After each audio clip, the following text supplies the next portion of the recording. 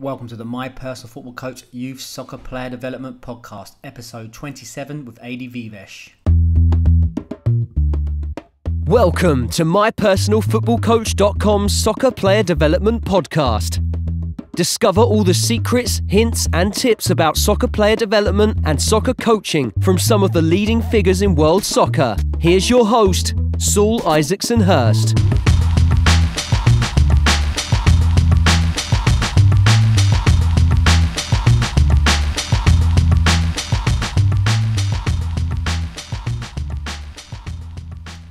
Hi guys, welcome back to another show. Uh, this week we've got a fantastic guest for you, someone I'm really, really excited about having on the show, AD Viveash, who uh, was previously um, worked at Chelsea in the academy, worked up uh, his way up, and was uh, under 18s coach, under 23s coach. Um, famously lifted the uh, UEFA Youth Champions League, and uh, now went on to um, work at Coventry and has just successfully helped them win promotion uh, as assistant manager. Now, um, I often talk about my time at Chelsea, working in that club, and reflecting uh, what were the main takeaways for me. And really, uh, it is about working in that world class environment. Uh, the mentality there was uh, second to none, something I've never experienced before.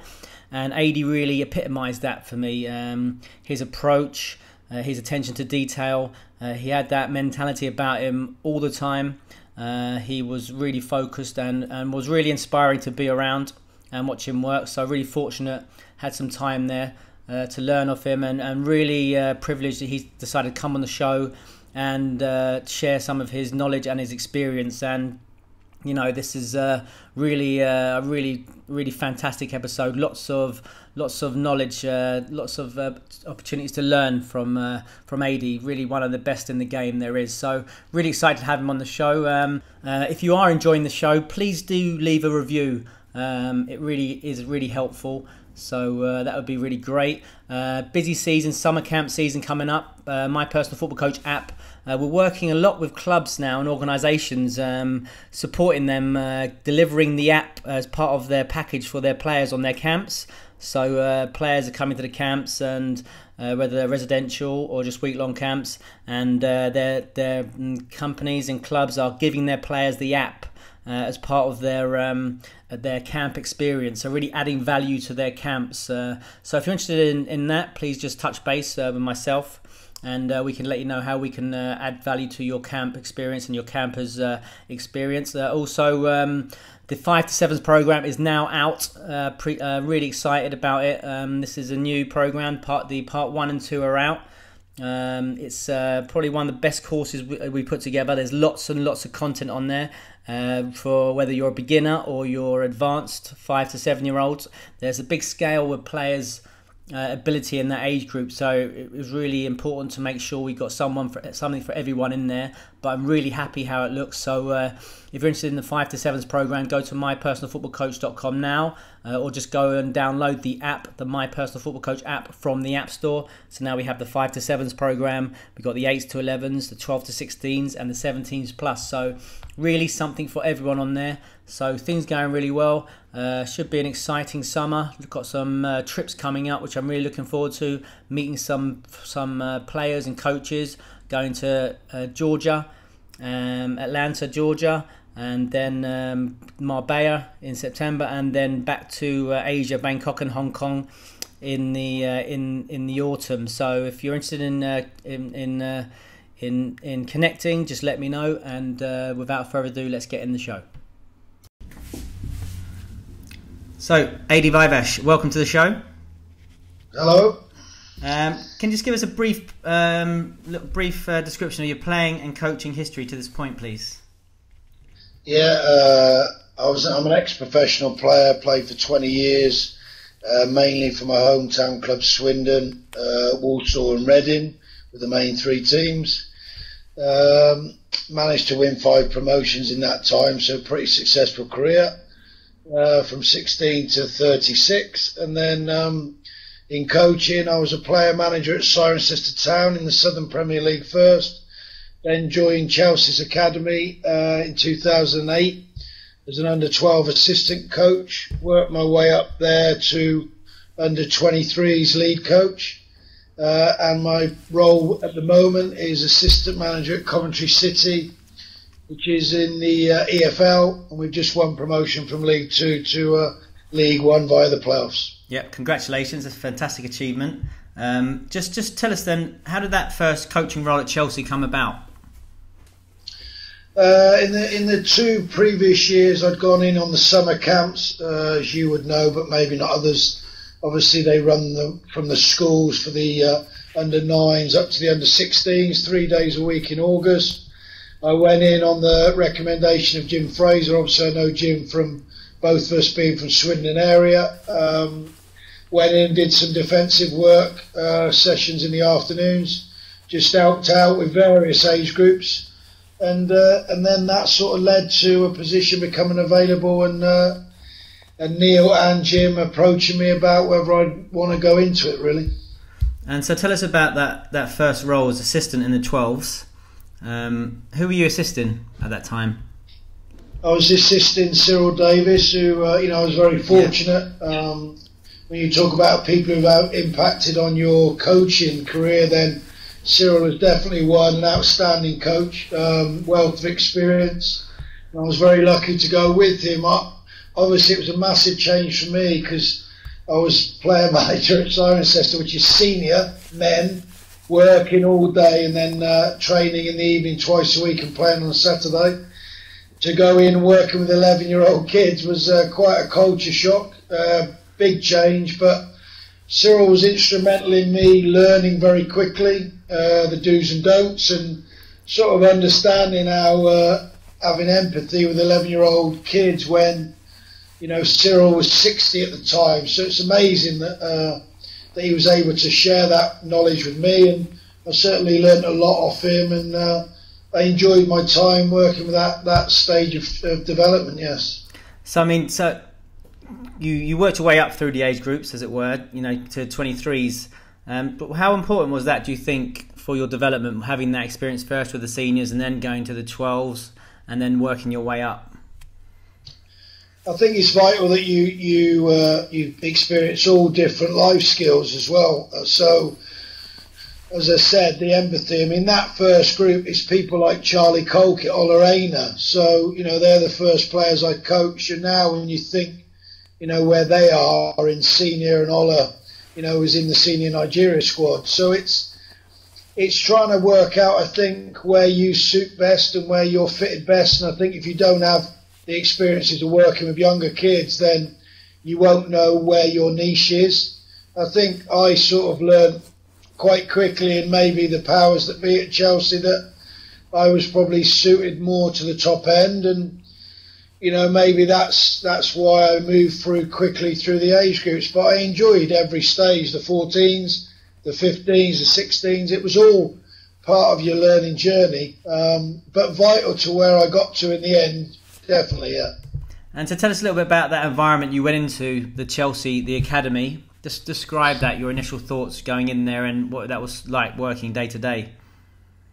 Well, if you you know, obviously I had, I'd never played at that level of club, um, so to come from uh, a non-league environment, Cirencester, you know, where the facilities obviously at Cobham are amazing. I think that's what strikes you first of all the the actual size of the and the infrastructure of the process that goes on in the academy, um, the level of detail, the the number of people working there, and obviously it grew a lot in the nine years I was there. Um, just just a wealth of knowledge and talent, and um, everybody trying to reach a common goal. And you know, the summer camp, my first experience, obviously, where you see the the scouts and the drivers and the the ladies doing the food and, and, and all of it in operation at one time is, is quite a quite a thing to behold, really. And um, yeah, I felt very fortunate to, to be involved in it, and um,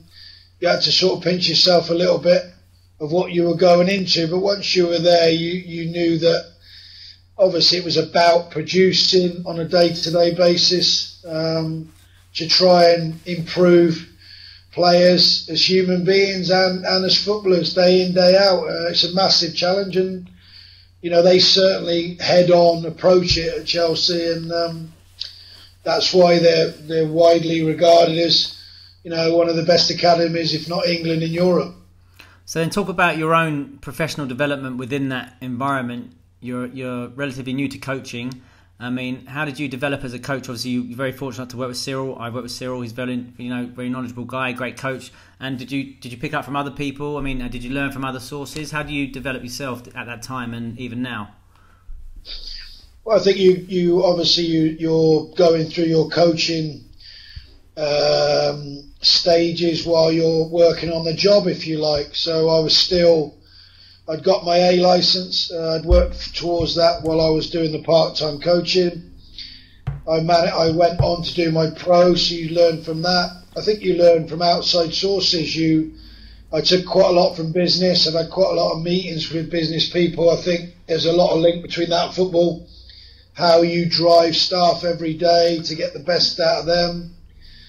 I think watching good coaches is also always um, a good source of seeing how people interact with players, with other staff. So I took a lot from that. Watching top managers, I was very lucky as to be at Chelsea at a time when they had arguably three or four of the best managers in the world uh, come through that nine-year period. You're able to look and see, and and although you've got to be your own person, you can still learn a lot from from observing. And I I like going to presentations. Um, I like seeing people on stage.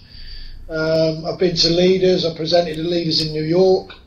So there's a lot of outside sources you can use.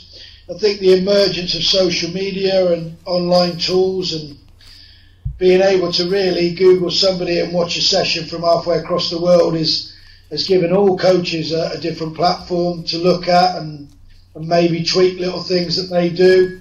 I think it's very important you're your own person. So I learned off a lot of the good coaches at Chelsea, coaches elsewhere, but I think it's very important that you're your own person and and you mould yourself, and that takes time, and you learn on the job, as I said. So you work through your processes along with the the academy structure, and in the end, you, you sort of come out a rounded person and a, and a better coach. So then, tell us a little bit about your journey then at Chelsea, working your way up. What was your your first full time role then within the, the academy?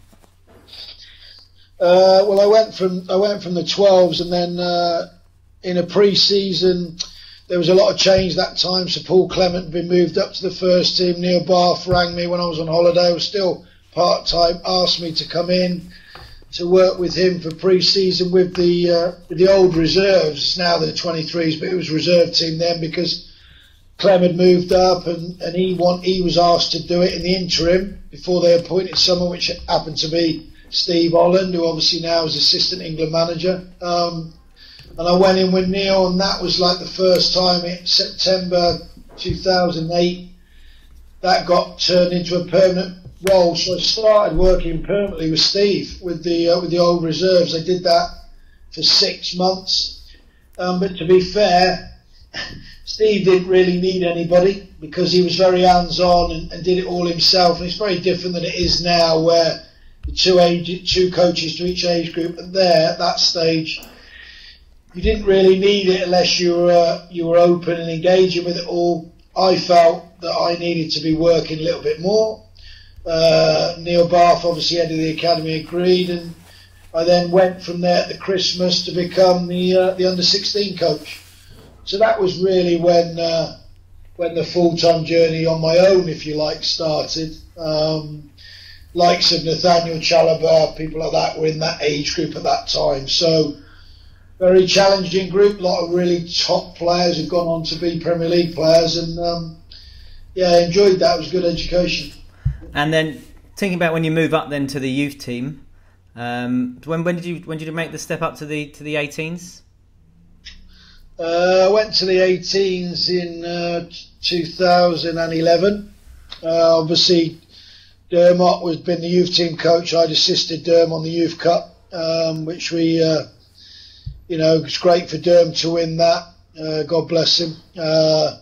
That first win after 50 odd years um, was an amazing achievement. And and then Derm was approached about taking on the, the, the 21s. It was then. I mean, it's changed so many times the name, but he he was approached about that. He moved up, and and I was approached about taking the youth team. So I did the youth team from 2011 2014, three years. Um, it's probably the role I enjoyed the the most, I would say, because you've got the structure of working Monday to Friday, and your matches are on a Saturday. Um, youth Cup obviously goes in the midweek when it starts, but that core work that you can do day in day out to uh, to see the improvements in the players over time because ultimately that's how you're judged as a coach or you should judge yourself is can you see the work you're putting in day in day out on the training field uh, in the lecture room uh, individually with players can you see that come out on the on the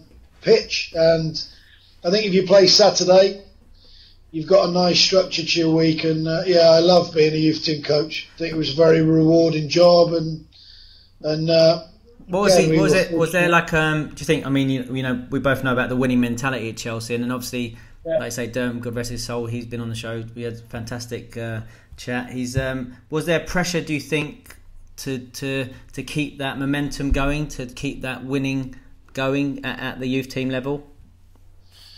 Well, I think when, when I took the job, I mean, we, don't, Dermot had been the only person who'd won it. So at that stage, it was still relatively new. I think the pressure for winning, I think, comes from within. Um, and I think the, the groups you took, well, I found that they didn't want to be the team that went out early in the competition. And that's what happens if you set a marker down and, and win something.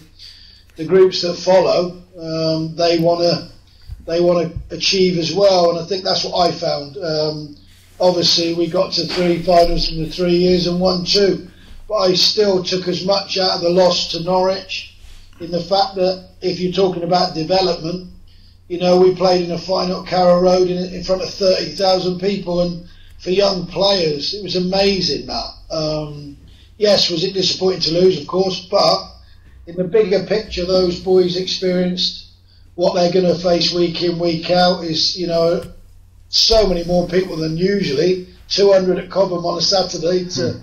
to 30,000. And I think, yeah, so I think winning since then, obviously, as time's gone on, you know, the run has been absolutely astounding. Um, and now I would imagine that there is quite a bit more pressure, again, from within, from the players to not be that one. For coaches, I think you want to be your own person, and uh, obviously to win the Youth Cup, I was very fortunate to be one of that select group that have done it. Um, what was that like for you, um, AD? Just, I mean, you know, obviously you've played at uh, a high level. You've used play, you're used to playing in front of crowds, but I mean, was that a challenge for you? Taking the team within that thirty thousand was that a bit of a different environment for you? Did you take something from that? Yeah, I think you it's, it's part of your coaching journey. I think learning you have to learn so how you how you handle yourself in those key moments. You know, I think I definitely I definitely took things from those two games um, because obviously we lost both legs, and uh, you know that even though 94th minute away was the one that really hurt us, um, we lost at the bridge as well, and I think that one when you realise that you're a coach still on the sideline. Again, there was 18,000 at the bridge, massive for Chelsea to have that, and you're the coach that everyone's looking at, and things aren't going well, and you're the one who's going to have to stand in front of the media after. I think that that taught me a lot about myself. I certainly learned a lot from it to take into the next year when we when we thankfully got the edge over a great Fulham team with Dembele and Robertson and I certainly made a big call in that one at half time to make three subs. And I don't think if I'd have experienced it the year before, that mental pressure being on the line um, and feeling very much alone, I've got to be honest, and that is a good thing because you got you got to find out about yourself. Because when you're playing, you're part of a team and you're on the pitch and you can affect it. When you're a coach, you can only affect it by decisions. You can affect it by showing player strength and when you're working with young players, that's a key part. And for me to make three subs at half time, it is still one of the one of the biggest moments in my coaching career to, to date. Um, to do that, to take off the captain, Loftus Cheek, obviously now is full England international going to the World Cup, who I love, and have a great relationship even now with Ruben. But it was a big call. Thankfully, it worked out. On another day, somebody mm. could have got injured in two minutes, second half, and we would have lost it. So, so that I think you learn from experiences and you build. You've got to be calm under pressure, haven't you? And that's that's one of the things. If you're going to be a coach or a manager, you have to be calm under pressure, whether there's two people or 20,000 people, it doesn't matter. And um, yeah, I was pleased I stuck to my beliefs, and it's it's formed quite a lot of the way I work, to be honest. That so. And just tell us a little bit about then, you know, your your style of play when you were at, at Chelsea and you had this success. You know, how did how did the team play? How did you set them up? What was the you know the main the main things about the philosophy of the club? Yeah, well, the, well, there's a strong philosophy, as you know yourself, through that club to play. You know, I think the systems have changed slightly in the in, over the years I was there. It's not so much about the systems anymore because some teams play three four three, which was not a preferred system of mine, to be honest. I preferred four two three one with either two wide players or three number tens. Certainly in the UEFA Youth League, where you know we uh, we had back to back triumphs in that. I I played three tens uh, a lot, and um, uh, it, it, was fluid. You play out from the back. Obviously, you try to get your fullbacks high. The centre halves have to be comfortable. Midfield players rotate. Um, you can rotate a fullback high and one of the white midfielders in central pop out left or right. You've got to be very accomplished on the ball and then spot the weakness of the opposition to be able to go quickly when you need to. Um, obviously, you're fortunate you've got players that can build pressure, keep teams penned in, uh, win the ball back quickly. Um, so we all, always, always, my teams had a high defensive, obviously being an ex-defender ethic to get the ball back as quick as you can, and if not, you have to work on all things mid press low block, you know. So I think we work for it. All goalkeepers' uh, use of the ball very important. If he couldn't go to one of his defenders, then could he drill it longer into a striker who then set off and you played backwards rather than forwards? So many things that day to day you work on the training ground, movements, rotations, um, running with the ball, the ability to beat a player 1v1. Um, you know, like I said, defenders being very comfortable knowing when they've got to clear it, when they can bring it down with time. Um, so what? So thinking about that, then your training week. What would a what would a um, average training week look for you like with you with the 18s then, or or the 23s there? You know, in um, from day to day for yourself and for a player. Well, 18, 18s, as I said, it was easier. So if you played on a Saturday, Monday Monday morning you do quite a light session. In the afternoon you do match reviews with each individual player, go through their clips, uh, look at strengths, uh, areas to improve, build that into a training philosophy for the coming week for each individual player. Tuesday double session, small areas in the morning, so a lot of power work. Um, depending on numbers of players, how many you have, because I know everybody coaches with different groups. Sometimes you'd have eight, sometimes you could have 20 outfield players, two, two keepers. So it depends. Afternoon, uh, individual work, technical, tactical, physical in the gym, sprint work with conditioners, um, all based individually on the on the player, what they needed.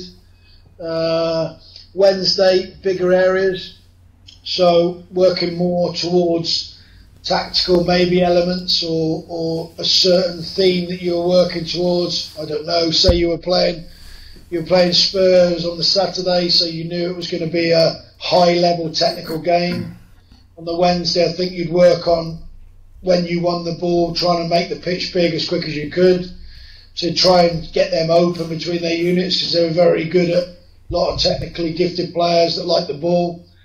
Um, she'd probably design training sessions around that.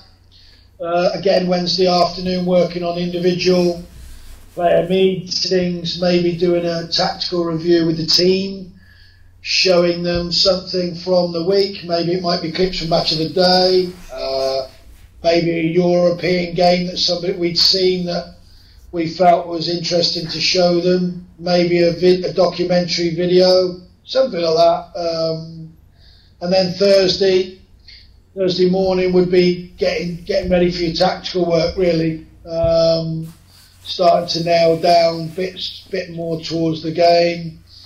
Uh, and Friday, yeah, quick, short, sharp, lots of small-sided matches. Uh, if you picked the team and you wanted to do something, maybe you did it, you you enforced it then. But a lot of the time, you don't know your teams until very late in the day, especially at Chelsea because of you know the demands from above. And um, that was it, really. Yeah, get ready for the game on a Saturday and off on a Sunday. And so, so what you the players doing the individual work? Did you work much individually with the players? I mean, obviously, you're like I say, you're a defender. Uh, would you work with some of the defenders sometimes individually and talk to them about their their body shape or you know their positioning or stuff like that? Yeah, I mean we could we, we tried. I mean obviously I worked with Andy Myers, who's another who was a top defender. Obviously he played for Chelsea as a schoolboy and you know was, played a much higher level than me, Andy. But we we we'd really split across Sal that you know when you work out how many staff, you know two conditioners uh, me, Andy, other people that can do different bits. So not so much always with defenders. You know, I think when you're a defender, you know the runs that strikers used to make that cause you problems. So we'd work a lot on that as well. I think the, the individual elements depend on a certain player. It may be that he's predominantly stronger on his right foot, and you have to work on his left foot receiving skills. If it's a, if it's a defender, it may be the timing of his jump so you're incorporating a conditioner to try and get more power in his legs. So I think you build that in. You have meetings, obviously, every six weeks, talking around four individual players, and you build that into programs. It's it's an ongoing process, but I used to enjoy. Yeah, obviously being the head coach, I used to manage it really. So as long I knew where every player was at any given time of the day, and sometimes I was involved in it if I was busy with other stuff. Then and he would lead and he did a lot of the work individually and you know it seemed to work and like I said the gauge is how, how are they improving over the season or over three seasons because they're very young players and they uh, they need a lot more than certainly first team players you're expecting them to be the finished article whatever they are at 24 25 really they tend to be even though I still think they can improve but their mindsets are slightly different and I mean, you were you blessed with a lot of uh, young talent there. For instance, you know you, you had uh, Izzy Brown, uh, Solanke, uh, Tammy Abrahams, three of the best forwards in you know English football, maybe European football. How do you manage yeah. getting? I mean, I used to watch those guys, and they used to rotate, play 7, 11, 9 a lot. You know, yeah. how do you juggle? You know, just which one's going to play in the nine, or which one's going to play out wide? You got so much talent there. Yeah, I think you. I think you well, when you had Musonda and Boga, then it was uh, yeah, it was it was uh, quite an interesting front five. I think you you have to look at each individual game cell or competition. So certainly in Europe, uh, Izzy Brown was my captain, and you know, in the first year, Tammy was on the bench, and that's what happens. You can't all get in the team, so you want them to fight. I think they they you you coach them in each position. So I think the fluidity of the system is geared by your players. You know, any system you work out on the strength of your players, and if you've got those three, like I said, and and Palmer and Boga and Musonda, and then you've got Colkett's left foot supplying passes, then they can play in any position really. It's just working on what suits the team best for certain competitions, and that's how I did it. Izzy played on the side in Europe. Dominic was the nine. Sometimes I played them together uh, and played a diamond. Other times uh, they played in different positions, but I think Dominic can play 10 or he could at youth level or 9. And I think as long as you do the work, you, you work on the strengths of them, show the opposition weaknesses, then um, you can't go far wrong, really, as long as your your own knowledge, which is the key to coaching, you have to be able to get your own knowledge across and be very comfortable in your own knowledge because when you're working with top young players, if you're wrong, they will tell you. So you have to be able to handle that. Players coming back at you, and you know, I've always had a great belief in my ability and my knowledge, so I trust it. And uh, so you mentioned um, the uh, under 19s European tournament. Amazing achievement to win that twice, back to back. Just talk about uh, what, was that, what was that like going into Europe with the team for the first? What, was, what were the differences between playing your normal, you know, your normal uh, domestic fixtures? Was there any difference in you know playing those European competitions? Yeah, I think that obviously you notice straight away that the the, the teams are, are very well set up. The tempo slightly different. Um, slightly slower, I would say, certainly with the Spanish. Um, I think the whole the whole um, aura around it, that UEFA Youth League, because it was a new competition, and you know, Dermot, bless him again, but uh, the the first year it was in it, Dermot took the team, and they got to the quarter final and lost to Schalke.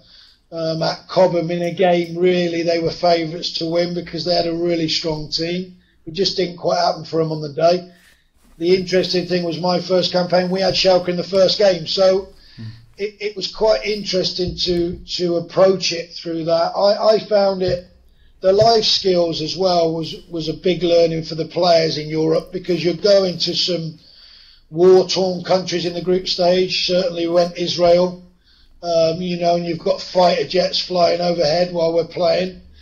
We weren't able really to leave the hotel. We had armed bodyguards. We went to Kiev um, you know, we're in a pizza place eating with the team after the game, in which we played well, and they it was a good game because they were a good team.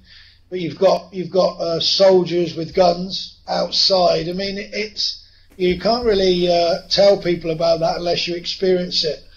And we also went to Maribor, which was amazing because the people were so hospitable, so friendly, and and loved Chelsea. And I think for the players, it's really nice to see them in that environment. So it wasn't just on the pitch, but on the pitch, I certainly found myself coaching against outstanding coaches. Um, and I think when you did a move, they moved. it was a bit like chess. Um, so it really made you stretch, uh, get to certainly another level, which you had to. And um, you know, thankfully, obviously, when we you get to Nyon, if you get to the semi-finals and final, it does appear big because it's over a weekend. Two teams leave after the semi. The hotel gets a bit eerie. There's only two teams there. The, the pressure builds daily. Really, really fantastic environment to uh, to work. And yeah, we we're fortunate to uh, to come out on top in two very different teams. First team, the players you mentioned, outstanding individual ability, really the best team that will probably ever play development football that I've seen. Um, when you add Andreas Christensen, obviously Chelsea first team and now at the back, Jay Silva, you know, Jake Clark-Salter, all these players that have won on, honours with England. Um, so it's an outstanding team, and as long as I got them set up in the right places and tactically, then really nobody was going to live with them. The second year, much harder much more different, but a group that really were all born in Chelsea, and um, we had an outstanding defensive team, and uh, that's what won us that, that title. We, we only conceded, I think it's less than double figures. We went 16 months unbeaten, so it is. You, you were breaking new records, and it was phenomenal, and and we really enjoyed it. The only downside was we weren't able to go for the treble because Chelsea didn't qualify their first team which was a bit sad at the time, and now I'm glad they've changed the rules. So now the winners get in. So uh, uh, just think about that, Adi. Sorry, sorry to interrupt, mate. Um, just, just you mentioned before about you know you like a game of chess. Can you give us an example of that? You know, so for instance, when you've been in a game and then someone's made a change, what the change was, and how, what you did to adapt, and how do you get that message across to your players during the game? Well, it's okay. Ajax in the Ajax in the quarter final of the Champions League the second year uh, at Cobham you know, Ajax were the best team we played in the in the two years I did the tournament. Um, and they've got five that are in their first team now. So outstanding technical ability. Um, usually we're the dominant team, technically, as you would know. They were. So we had to have a slightly different uh, approach.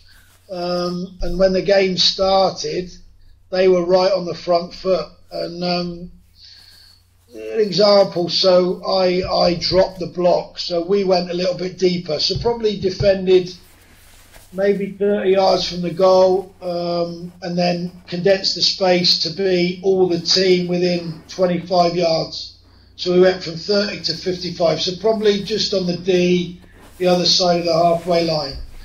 And their coach, uh, when the change happened, what he did was he moved the middle of the back three, he put him in front and pushed him into a midfield position um, to to basically enable them to get another man into the attacking area, and they they tried to squeeze the pitch another five yards, so they wanted to make it 50 yards, which was really interesting how he did it and when he did it. Um, and then I, for me, get checked to counter that. Then I, I asked Kasey Palmer to start running in behind, so to use the space because they'd come so high and uh, if you see the winning goal, Kasey gets fouled by the sweeper, who's now playing in midfield, so he's moved.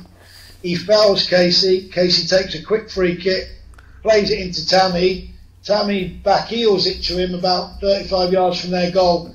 But Kasey's running into space where he would have been. But because they'd moved him and we'd countered that, that Kasey ran into the space, drew the other centre half, slid it to Kyle Scott, and he scored. And that happened to be the winning goal because we won 1 0. And um, yeah, that, that's something what I mean about chess. You, you, the, their coach was very good, very talented, but you're trying to get it. But the players have got to execute it. You can you can put any game plan you want, and the information to how you get it on sale is quite easy. You just you just call one of the players if there's an injury or something, which there was. I was able to get Kasey over to the side and explain to him. If not, then the fullback on my side, I would whisper in his ear and he would pass the information on. Again, big trust in the players to understand. Um, but obviously, most of these scenarios we would have covered in training anyway when we worked through strengths and weaknesses of opposition, especially in the in the bigger games, um, because you didn't really leave no no stone unturned, to be honest. So, do you think that that intelligence and that flexibility, the the adaptability you want in the players, do you, do you reflect on your time working with the 12s and 14s and then implementing things at that time? Is there stuff you can do with the younger players which starts them on that journey? I think now. I think now. I think you have to get. You have to. Yeah. I think tactical information certainly when it gets to under 14s. I certainly think now how it's changed in the last five years. Development. I think that they need more tactical information at a younger age. So because they're they're getting caught a little bit wanting when they get get to that 17, 18s, and by then it's a little bit too late, really. Um, so I think you can design, but again, it's around the skill of the coaches to be able to design sessions that also still have the fun element at that age, um, challenging to the environment, and also uh, that that are impacting te- tactically even if the players don't really know that. So, um, yeah, the skill of a coach. So you're working out something, you're showing them, but you're you're disguising it, if you like, um, in a certain way. And I think, yeah, I think that's a change that probably should be implemented now. Um, and it's certainly something that I'm talking to the academy coaches at Coventry at the minute about, which is obviously a lot lower down the chain, but trying to help them in certain instances by bridging the gap between that and the first team. So I think at Chelsea, easier because the under 14s are in, you know, they're in full time if they're at the school or they're on day release. So you have the time to be able to do it and break the sessions down. So uh, trying to get the understanding, game understanding earlier. Yeah. And um, just lastly about Chelsea, then just um, you talk about all these great players, that great team. Obviously, that a lot of those guys haven't progressed um, as quickly as as we would have liked. Maybe what would you put that down to, and what what would, what would you think would be could we uh, could we solve this problem, this apparent wall that a lot of these players are hitting? I think I think I've said this before, but um, certainly I was very fortunate to be coaching a golden generation, if you like. If you the results say that you don't win as many youth cups or youth leagues or or England tournaments with that many Chelsea players in if they're not top top players. And the gauge for me is everybody else wants them. So I think why they've not made it through comes down to one person. The manager of the first team picks the Chelsea players. Do they have to be world class? Yes. Is it a massive jump from an academy into Chelsea first team? Enormous. But have there been players good enough over the last decade? Yes. Fact. It's a fact.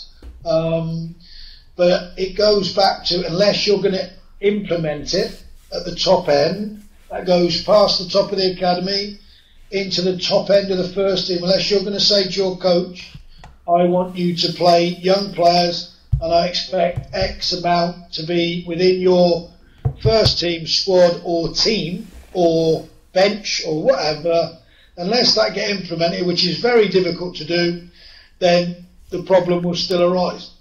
I know you're trying to get to the elite of European football, but we are talking about outstanding young talent that um, have moved on to pastures new and have flourished in certain instances, you know, and I, I hope the situation improves for Chelsea. Obviously, I'm not there anymore, um, but I hope the, the situation improves for them. But this year, to be fair, a few, quite a few have made debuts. Hudson Odoi is the youngest for many years. You know, Solanke obviously was very young when he made his debut, but that didn't materialise into as much as he wanted um, and probably deserved.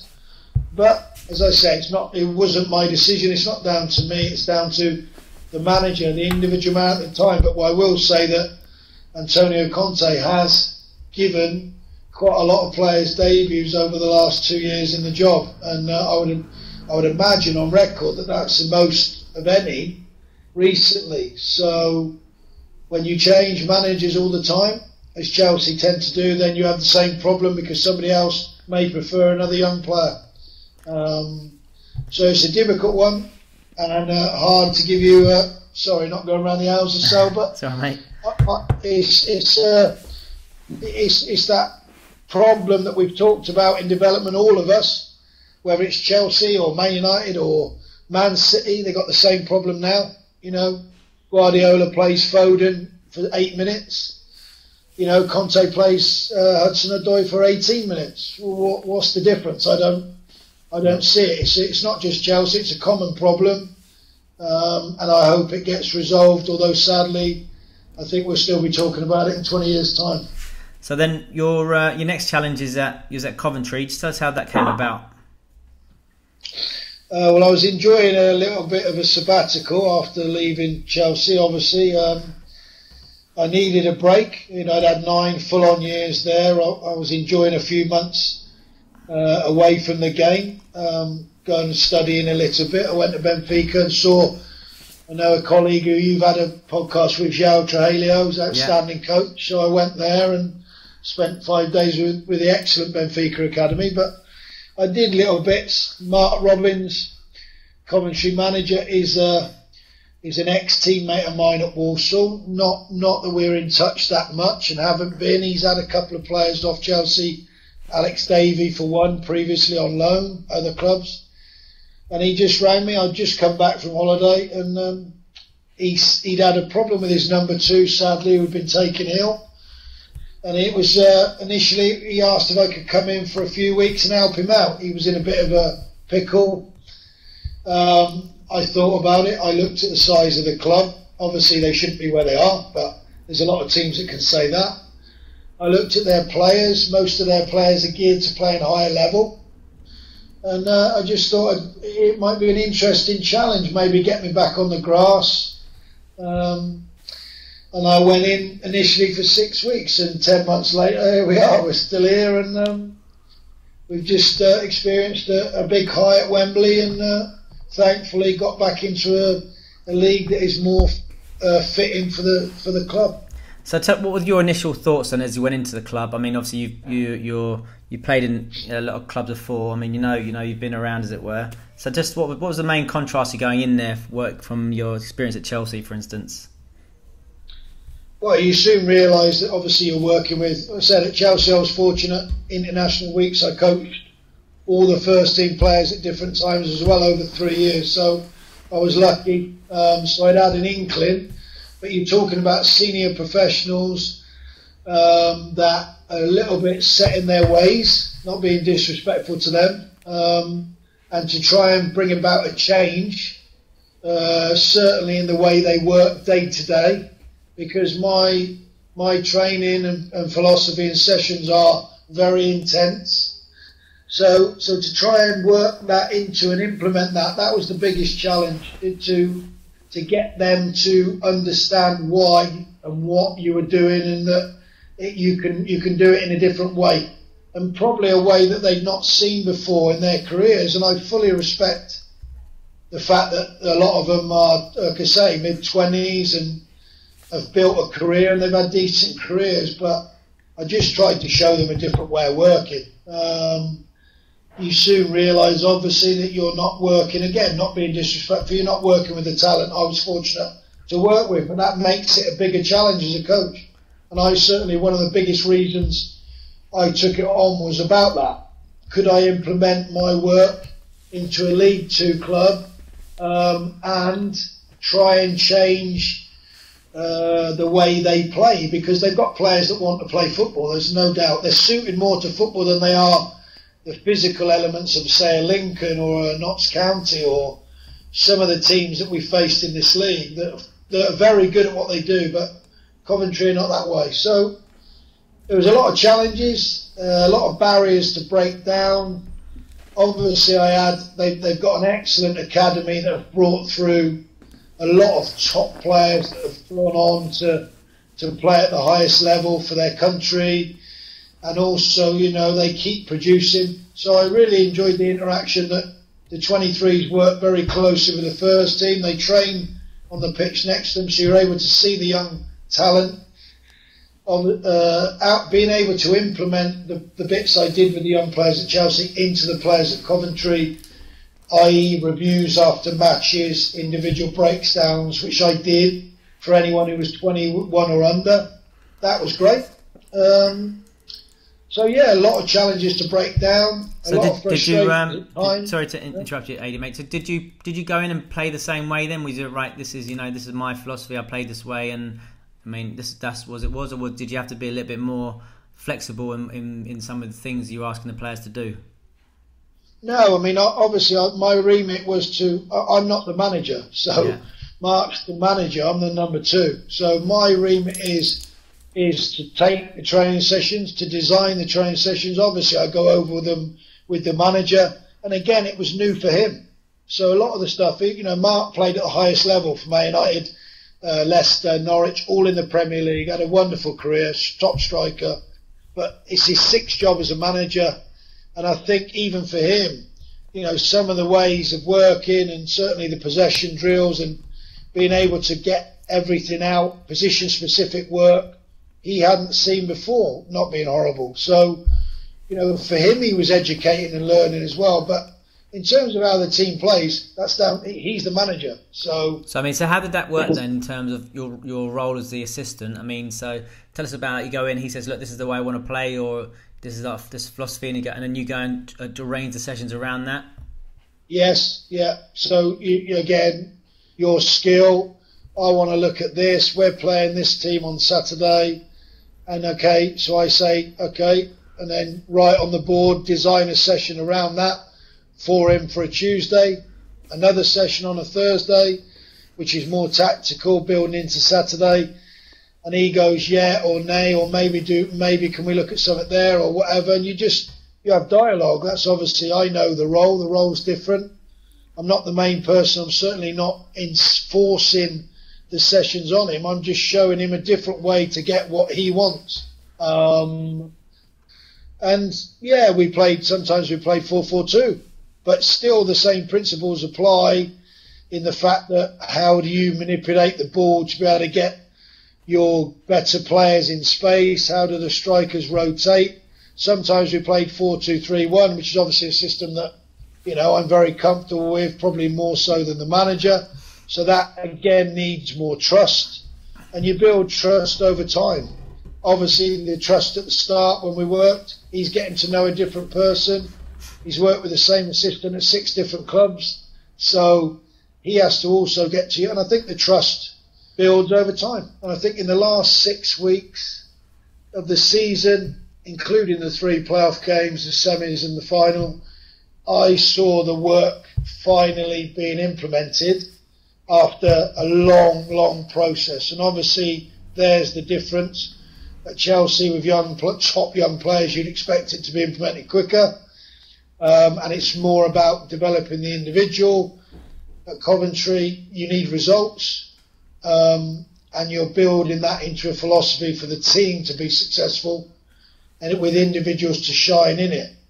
You know, Chelsea, um, I I implored that it was team first, so the work rate, and then obviously individual, top individual players shine anyway, and you improve, find the missing one percent.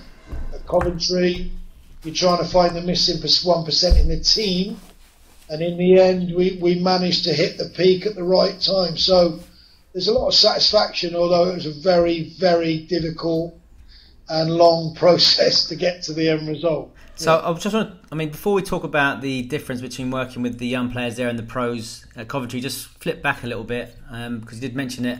What was it like when you got the opportunity to work with the first team players at Chelsea compared with the young players that you've been working with, even though they're really, you know, some of the best young players in Europe?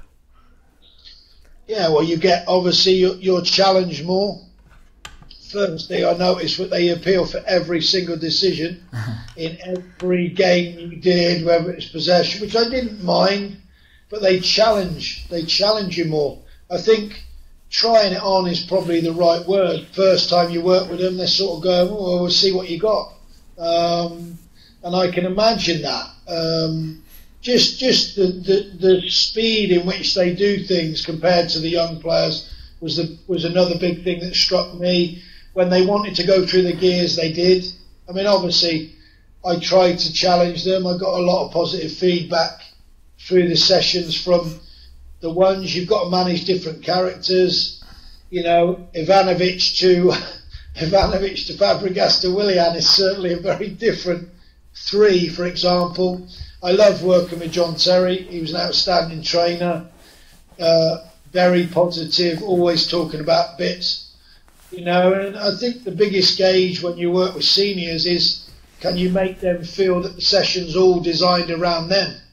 Uh, and the key is that you're trying to design it around 20 players.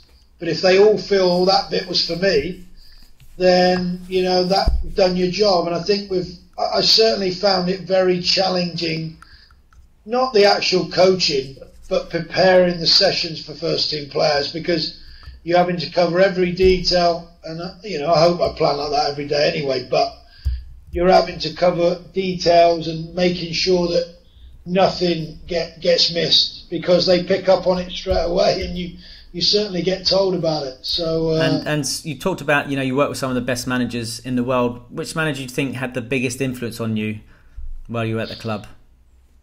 Uh, that's a good question. I, mean. Uh, I'm not observing observing Mourinho um, just because the level of detail that went into his planning. So you know, I was fortunate at that time to be changing in the first team changing room. So I changed in the facility with him and his staff, and you know, even that was a challenging environment because he challenged you at times um, about young players and talking about players' progressions and. You know, he, he, he would get into debates if he wanted to, but watching him on the grass, you know, he had an aura about him, and and uh, I certainly, I, I never copied him. You know, he said to me one day, "Adi, you never you never do any of my sessions like in a joking way," um, and I said, "No, I don't copy. That's not that's not what I want to do. I, I like watching you because." You know, I said you, your detail is second to none, and the way you conduct yourself is what I look at more. The the the mannerisms, the, the, the body style, the, the way you move, interact, the way you move in and out of sessions.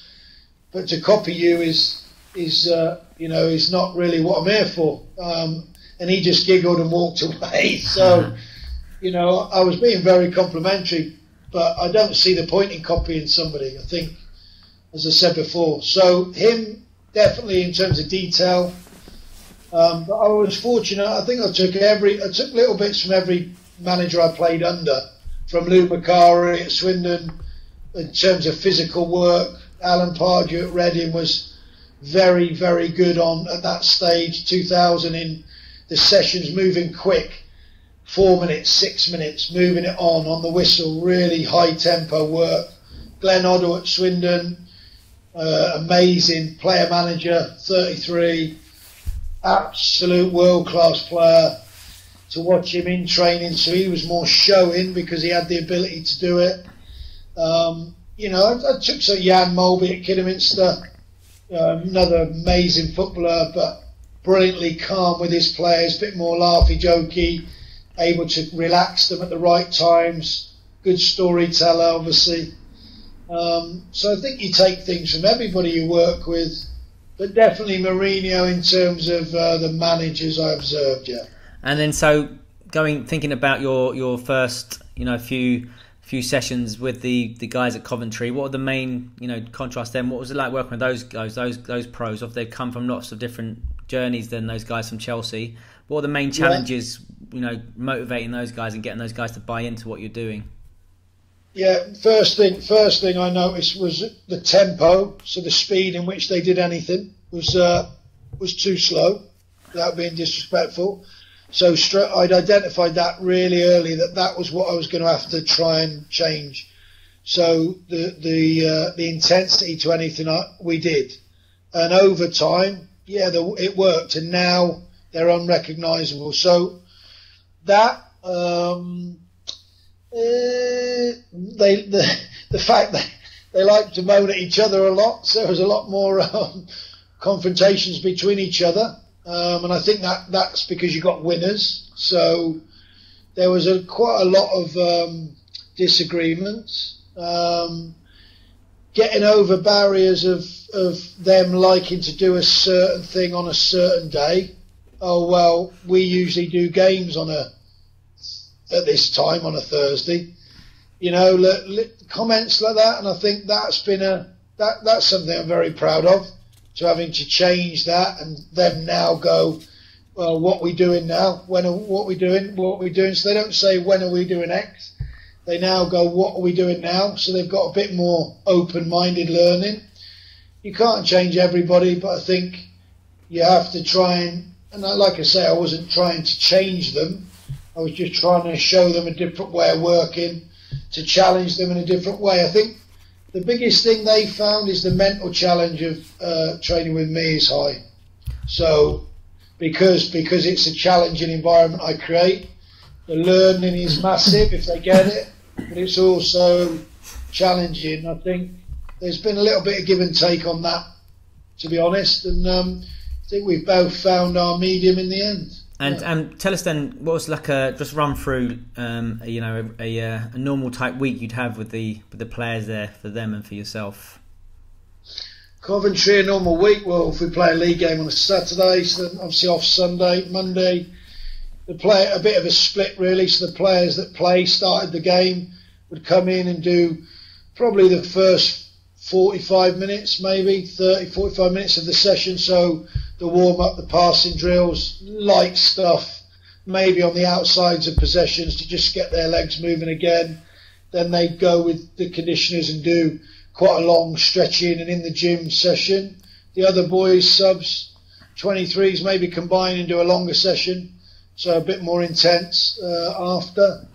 Tuesday, main probably main day of the week in terms of the work, so 90 minutes um, depending on numbers, what we would do. Probably a lot more generic, not really geared towards the game. So, you know, maybe uh, possessions smaller, two groups, different things, swap over, crossing and finishing drills, uh, 1v1s, 2v2s, 3v3, stuff like that. And then games.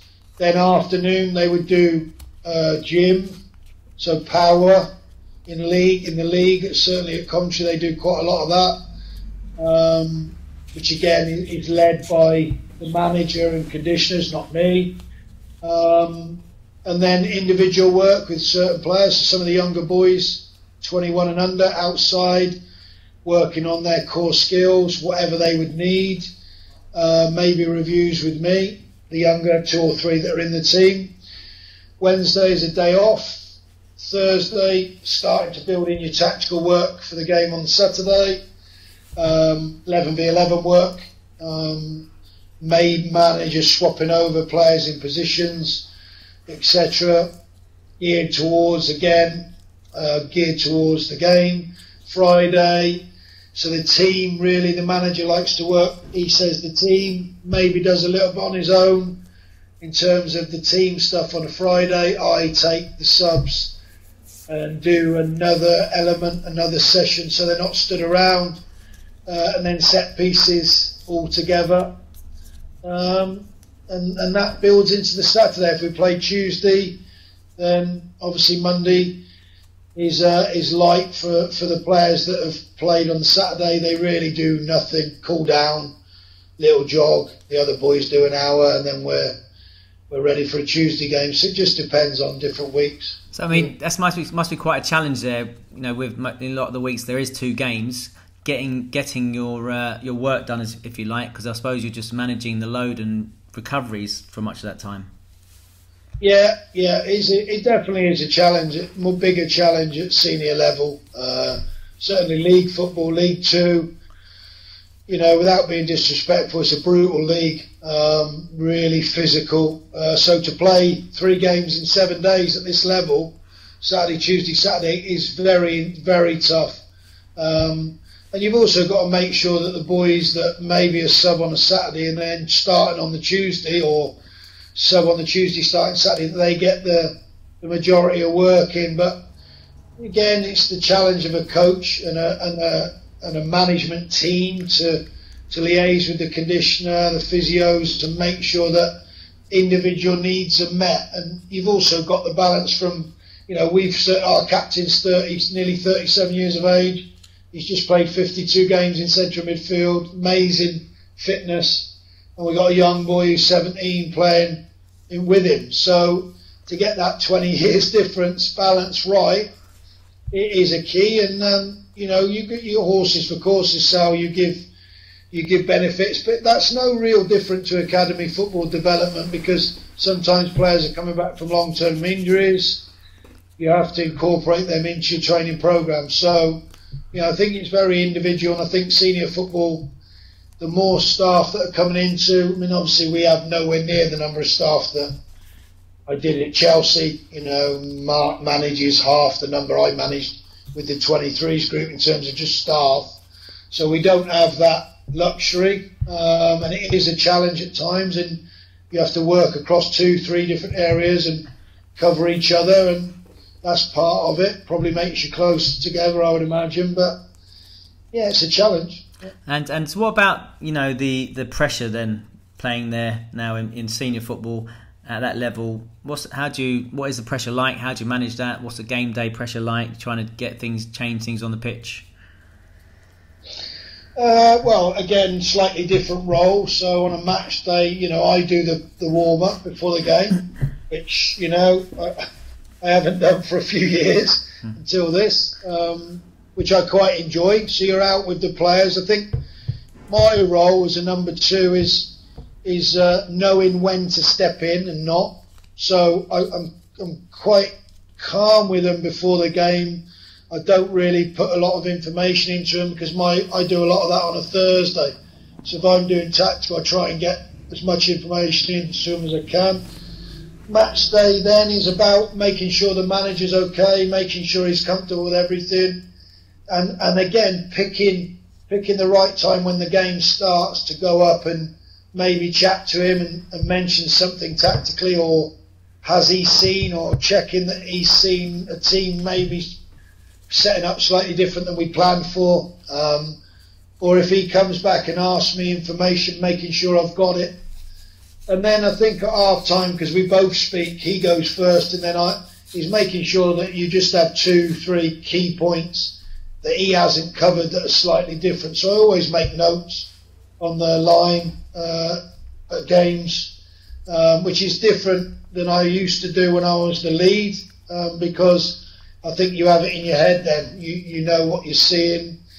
I think as an assistant, you just got to make sure that you're yeah, you're covering maybe all the areas that the manager's caught up in the game, so he doesn't see everything by his own admission, and that's how you work as a team. So slightly different challenge. Um, pressures. You feel the pressure as a group of staff. I mean, obviously the, the pressure on me is nowhere near as much as it is on the manager. But at the end of the day, it's senior football. You're in a dog eat dog industry. If you lose four games now at Coventry, it's the same as losing four games at Chelsea. You're going to be under pressure um, in development. I think as long as the the club can see that the players are improving individually, and that the, the, the way you're trying to play is the way of the philosophy of the academy, then I think obviously losing four in a row isn't going to get you anything more than having a conversation with Neil and trying to get some support.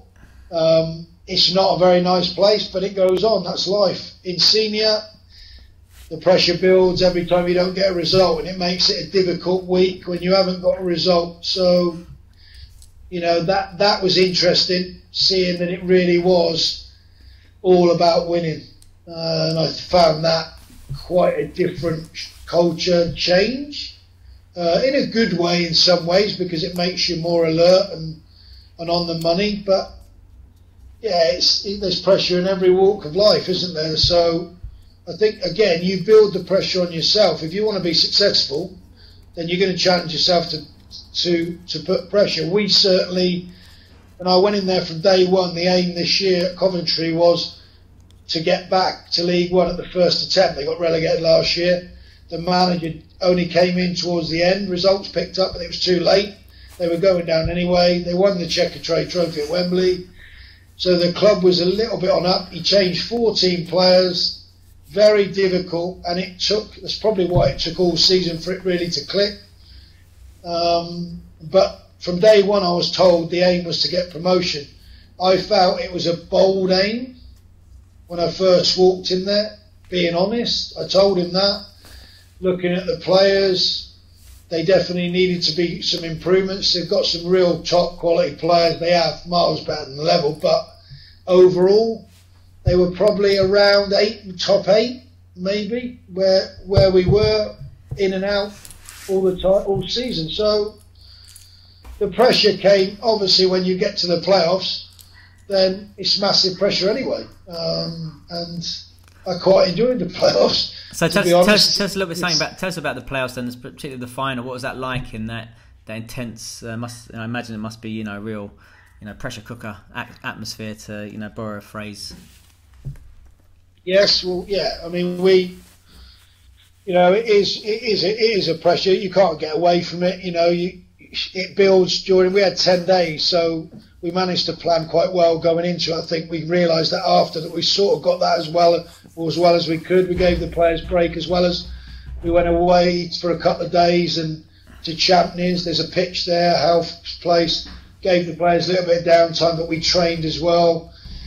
Um, we went to Wembley the night before. We watched the the League One player final when we got there. You could feel the anticipation build, and obviously we took forty thousand people. So you, you, I think when you walk out of Wembley, mean, obviously special, especially it was special to have coached there now, um, which again is another tick on the on your moving forward. But I think you realise that it's a winner takes all game, and when that whistle blew at the start, it certainly didn't feel like any other game. Um, and we tried to play it down like that to the players, but there was no way you could you could do that. Um, is it what was there any strategies to obviously you've got a lot of young players in the squad you talked about. Uh, I mean, a lot yeah. of, maybe a lot of those other guys at Chelsea had, had experience of playing finals before. I mean, what are your strategies to try and calm the nerves of these young players, particularly?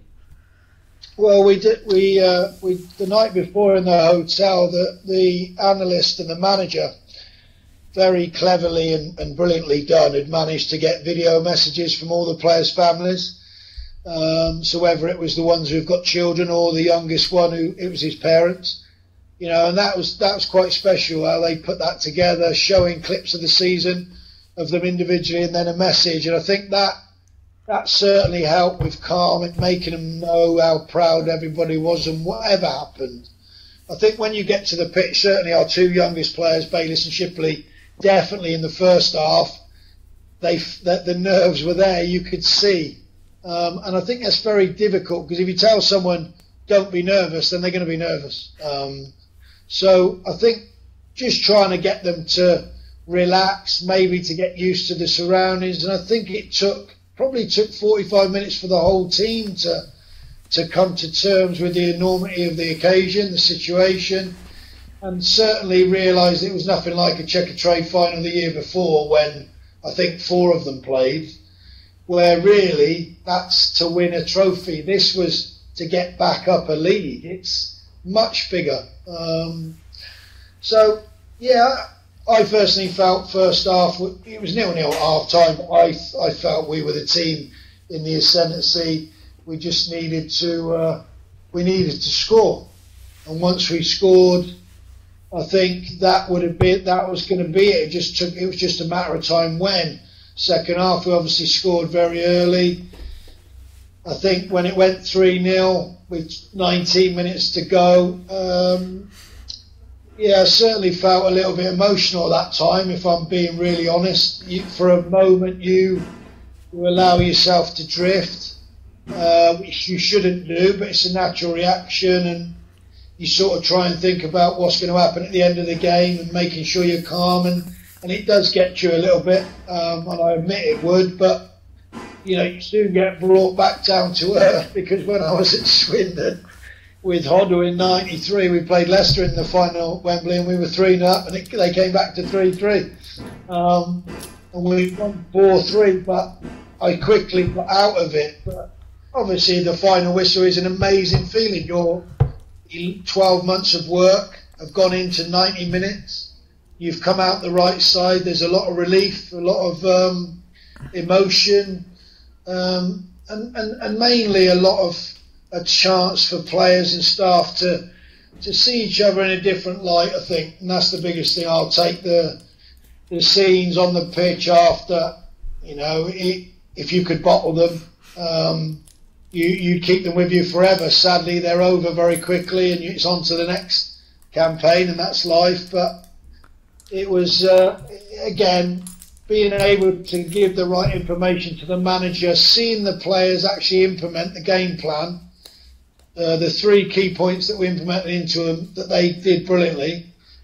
I felt very proud of that because that's taken a long time to get to that stage, and I wouldn't have been able to achieve that earlier in the season, and nor would they. So big pat on the backs to them. They're the ones that play, and and they deserve what they got because they uh, certainly were the best team in the playoffs. No uh, where would you put that then in terms of achievements in your career? You've had some amazing, you know, uh, victories throughout your career. Where would you put that that playoff victory?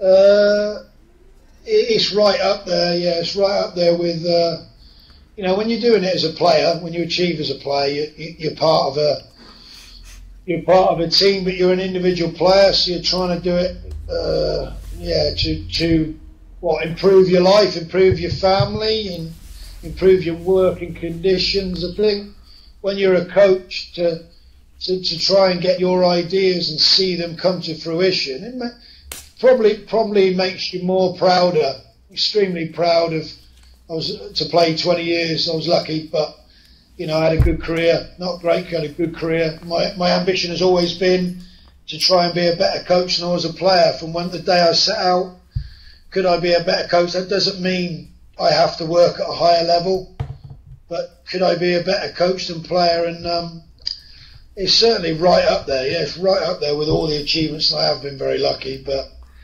it, it certainly meant as much if not more, probably probably because of you know leaving the way I did, uh, Chelsea, uh, being out of work, um, not really understanding that. Uh, even though there's a lot of top coaches out of work, but you know finding that difficult when you feel you've done a really good job um, to get your head around that, and then being given an opportunity, probably in a level you probably didn't think you'd work in because you may not be able to think that you can relate to that level, having where you've just worked for a decade. But that's why I'm proud because to get those messages across and be able to change the way they think and also play, and the style in which they play now is definitely my proudest moment in football today. So proudest is definitely that. Fantastic. So, what, what are your, your aspirations then? You know, would, as uh, for the future? Well, I think anybody, Saul, who, who's in coaching, you, you want to you want to coach at the highest level with the with the best players available. So, you know, I'd like to work with. I'd like to get back to working with top top players, but maybe on a senior level. Um, but I just want to be. I just want to be able to make a difference uh, in what I do, and I want to be able to implement my ideas into players and, and hopefully see that come to fruition.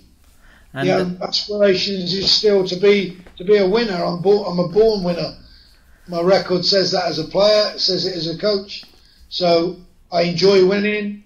I think, you know, there's luck in any element of winning, of course, but I think winning's a massive part of development, not just for yourself, but also as players. And you know, I, I hope uh, there's many more successes to come. Well, I was going to say, with your track record, I think I have a few quid on Coventry next season because uh, you got a pretty good uh, winning uh, record as it goes throughout your last few years. Funny, Um, what what advice would you give for like an aspiring coaches? Obviously, this is a coach coaches podcast. You know, um, you, have you know you've had such a fantastic career already. What, what, advice would you give to a young coach, up and coming coach, starting in their, early on in their career?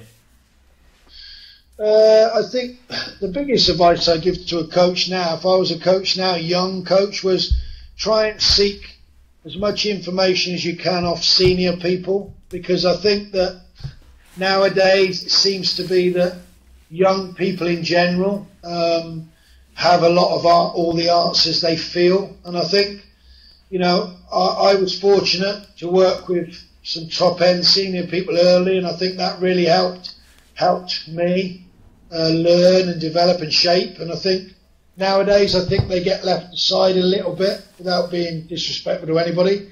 So I think try and learn from everybody, get a big rounded opinion, but ultimately be yourself. So, a young aspiring coach, what do you bring? Question ask yourself every day, what do you bring that makes you you? Uh, and can you implement that into your work? Uh, and if you can do that, then you won't go far wrong. And uh, what about advice for um, a young player starting on their journey and wanting to play at the highest level? Work harder than your friends sitting next to you. Um, it all goes back to hard work. Um, have you got the dedication? Again, question ask yourself as an inspiring player, young player, have you got the dedication to give up things or choices, make choices that you are not going to be popular with your friends that are doing normal day-to-day jobs? Uh, question mark. If you can answer yes to that all the time, then you're giving yourself the best chance to have a very successful career, which will ultimately change your life. So you're asking yourself, can you be dedicated for 20 years, maybe even 10, 10 years of your life to make sure that you have a wonderful 60 years of life? Um, so can you work harder than your friends sitting next to you? Uh, if the answer is yes, then you're not going to be far wrong. And um, and learn, keep learning. Don't don't never be too old to learn as a player. Uh, you don't have to be a teenager to learn. You can keep learning at any age. And finally, this one's a bit of a, a personal one for me. One of my best friends is an obsessive Coventry fan. Uh, ben yeah. Sprung, he's got kids called Charlie and Maxwell. They're obsessive fans as well. They travel up from London to all the games. Unless we could say a quick hello to Charlie and Maxwell Sprung, could you, for the big Coventry fans?